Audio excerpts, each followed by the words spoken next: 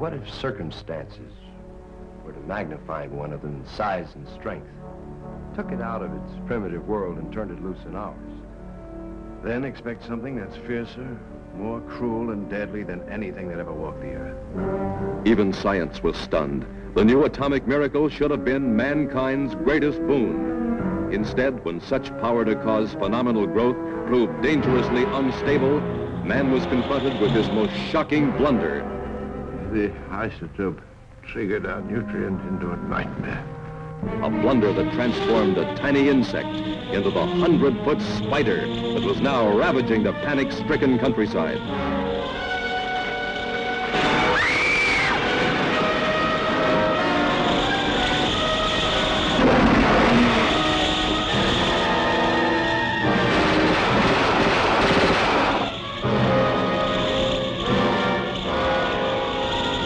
ready?